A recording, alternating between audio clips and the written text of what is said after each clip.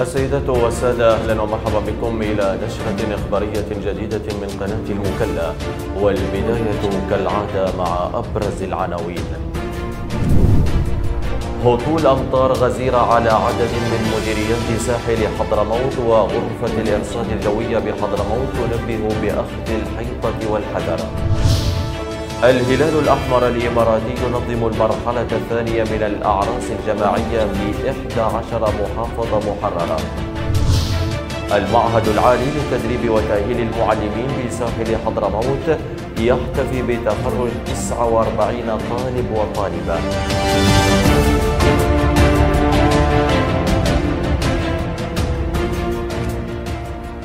كانت هذه أبرز العناوين وإليكم التفاصيل. أهلا بكم. ترأس رئيس مجلس الوزراء الدكتور معين عبد الملك اليوم بمدينة سيئون اجتماعا لقيادة السلطة المحلية والتنفيذية بالوادي والصحراء بحضور محافظ حضرموت قائد المنطقة العسكرية الثانية. اللواء الركن فرج سالمين البحسني. وكرس الاجتماع لمناقشة احتياجات مديريات الوادي والصحراء من المشاريع والخدمات وأولوياتها في ضوء توجيهات رئيس الجمهورية باعتماد 5 مليار ريال للمشاريع الخدمية والتنموية والتي تلبي احتياجات المواطنين في الفترة الراهنة. وشدد الاجتماع على الاهتمام بالجانب الأمني والعمل على تحقيق المزيد من الاستقرار بما في ذلك ضرورة توحيد الأجهزة الأمنية وربط كل مديريات صحراء ووادي حضرموت بغرفة عمليات مشتركة وتشديد الرقابة على النقاط الأمنية. كما التقى رئيس الوزراء مع وجهاء وأعيان محافظة حضرموت واستمع منهم إلى هموم أبناء حضرموت والمتطلبات العاجلة من الحكومة في الجانب الخدمي والتنموي. وغيرها من الجوانب المتصلة بحياة ومعيشة المواطنين.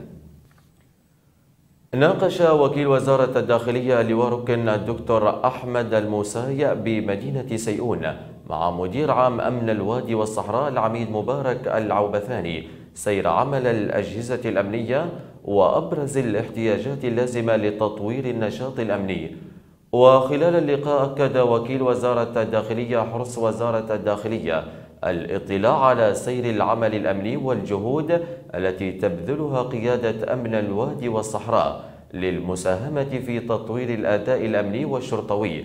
وتفقد وكيل وزارة الداخلية بمعية مدير عام الأمن وعدد من الضباط المرافق الأمنية والنقاط والدوريات المنتشرة التي تؤدي مهامها اليومية في مداخل وشوارع مدينة سيئون حثا الأفراد على حسن التعامل مع المواطنين ورفع الحس الأمني واليقظة العالية والتعامل بحزم ضد كل من يزعزع الأمن والاستقرار.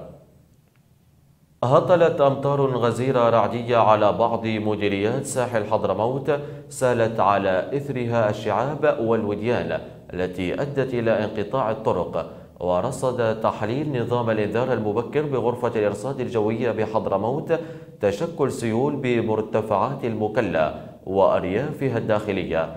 وأصدرت غرفة الإرصاد نشرة جوية صباح اليوم أشارت إلى احتمالية تشكل سحب ركامية رعدية مصحوبة بهطول أمطار متفرقة خفيفة إلى متوسطة وغزيرة أحيانا على مرتفعات وهضاب حضرموت الجنوبية ومرتفعات ساحل حضرموت وأريافها يصحبها تحرك سيول في بعض من الأودية والشعاب.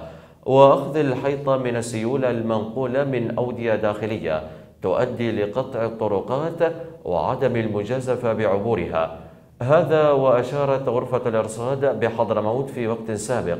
إلى تمركز أخدود منخفض جوي شرق شبه الجزيرة العربية مسببا حالة اضطراب جوية شديدة على مناطق واسعة من سلطنة عمان والإمارات أثرت بها مناطق عدة من هضبة حضرموت الشمالية بنشاط حزام سحب رعدية أدت لتدفق السيول. زار المدير العام للإدارة العامة للأمن والشرطة بساحل حضرموت العميد منير كرامة التميمي مؤسسة أمراض القلب الخيرية ومركزها نبض الحياة لأمراض وجراحة القلب.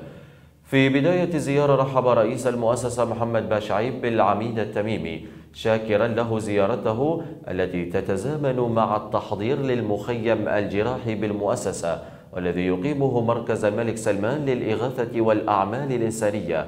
مشيدا بالجهود التي تبذلها إدارة الأمن في المخيمات التي تقام في المؤسسة. هذا وقد اطلع تميم على الأعمال التي تقوم بها المؤسسة من عمليات قلب مفتوح وقسطرة بأنواعها إضافة إلى صرف الأدوية للمرضى المحتاجين. وأثناء اطلاعه على أقسام المركز أشاد تميم بمستوى تجهيزات المركز الموجودة فيه من أجهزة ومعدات طبية.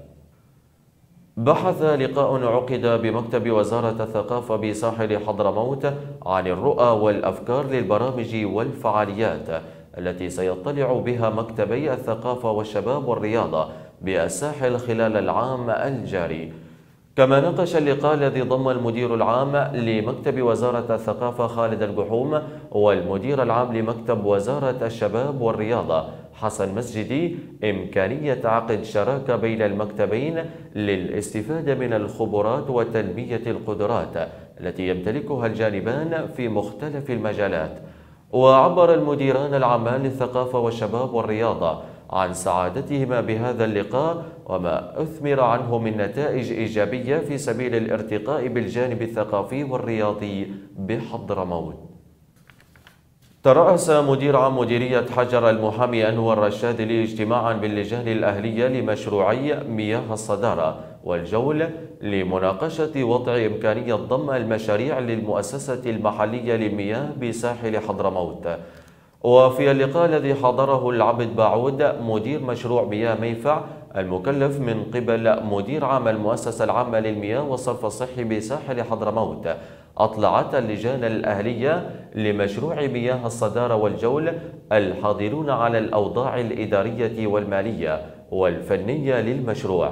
وأعطى بعود شرحا وافيا عن الإجراءات المطلوبة اتخاذها وفقا وآلية عمل المؤسسة مؤكدا على حرص واهتمام ومتابعة إدارة المؤسسة على سرعة استكمال إجراءات ضم هذه المشاريع للمؤسسة بناء على ما تم الاتفاق عليه مع مدير عام حجر.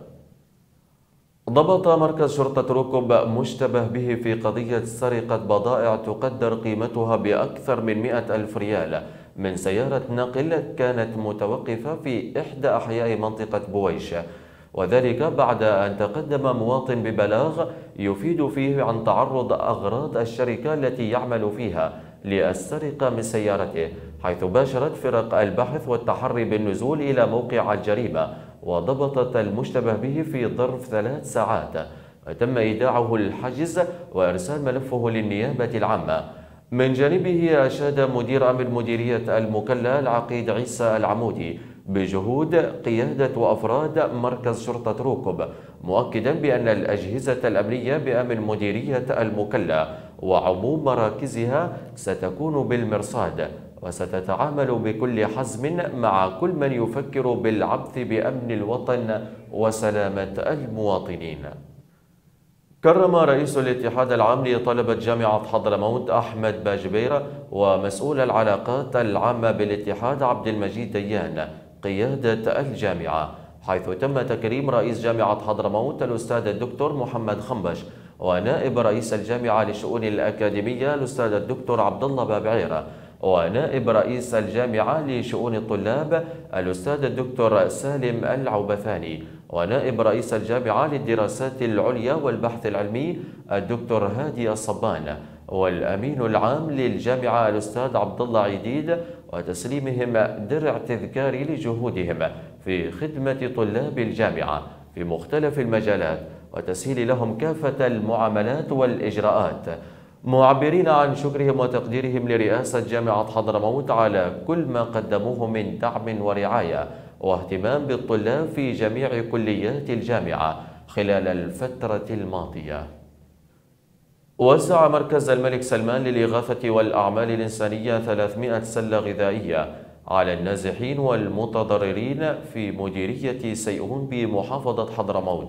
وتشمل المساعدات الغذائية على 22 طن و200 كيلوغرام من المواد الأساسية ويستفيد منها 1800 فرد وذلك ضمن مشروع توزيع 102170 سلة غذائية تستهدف عدد من المحافظات. تنظم هيئة الهلال الأحمر الإماراتية المرحلة الثانية من الأعراس الجماعية ل 2200 شاب وفتاة في 11 محافظة محررة خلال العام الجاري.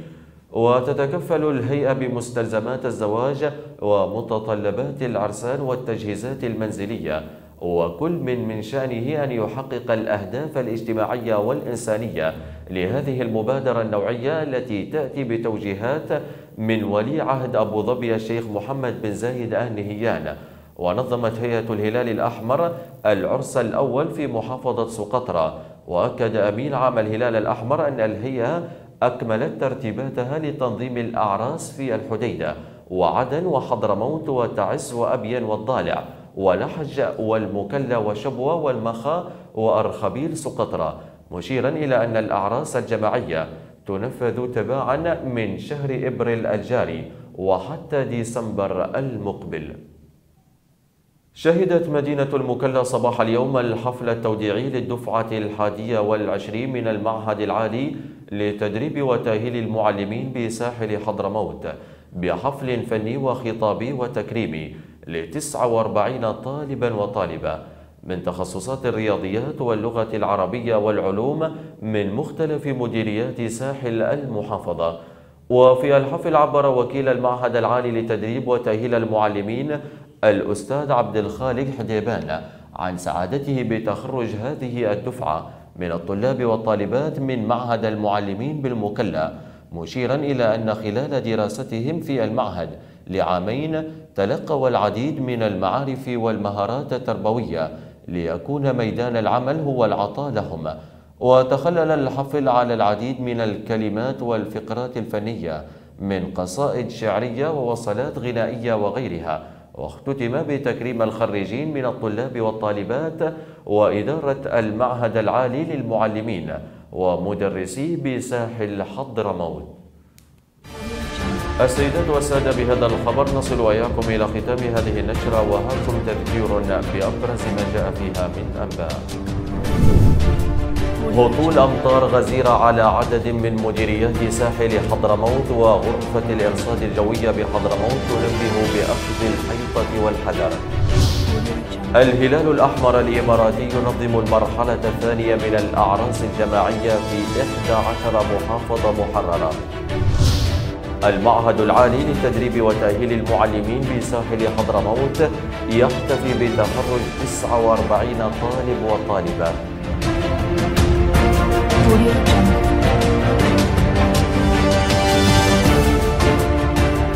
وبالتذكير بالعناوين مشاهدينا الكرام نكون قد وصلنا وإياكم إلى ختام هذه النشرة الإخبارية. حتى الملتقى دمتم في أمان الله وحفظه ورعايته. إلى اللقاء.